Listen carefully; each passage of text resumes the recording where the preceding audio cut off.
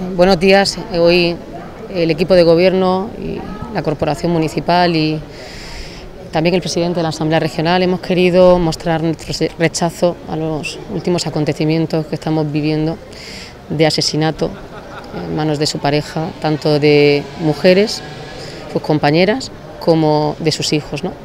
Se acaba de decir eh, aquí en este acto, en esta protesta, condenamos cualquier tipo de violencia la violencia machista, pero si ya hablamos del asesinato de los hijos para hacer daño a una mujer, esa violencia vicaria, estamos hablando del lado más duro, más ruin de, la violencia. Eh, esa mujer la han matado en vida, esa mujer la han matado en vida.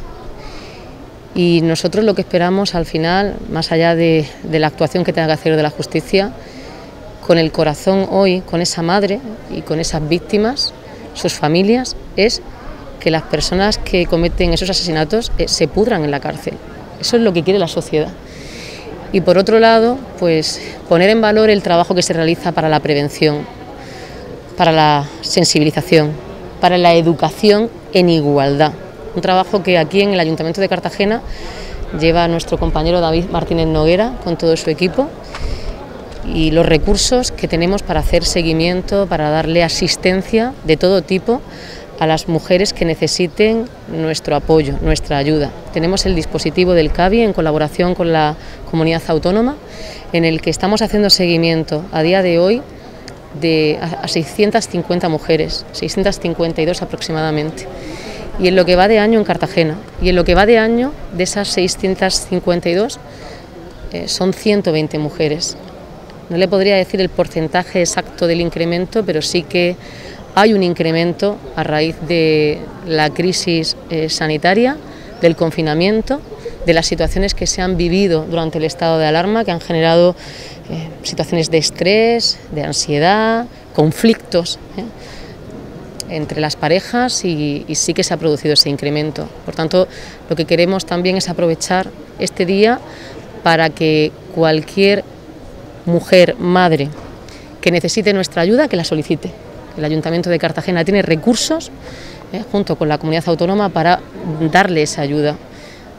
Y sobre todo también al ámbito familiar, eh, los amigos, eh, cualquier vecino que tenga mm, cualquier indicio, que también pueda ponerlo en conocimiento, porque estamos viendo cómo en cuestión de pocas horas o de pocos días, quien tiene un plan al final lo termina ejecutando y hay que, hay que acabar con, esta lacra social. Pues el mensaje ha sido el que acabamos de vivir. Eh, la sociedad tiene que rechazar de plano este tipo, cualquier tipo de violencia, pero esta quizá con mucha más fuerza, porque el daño ya es irreparable.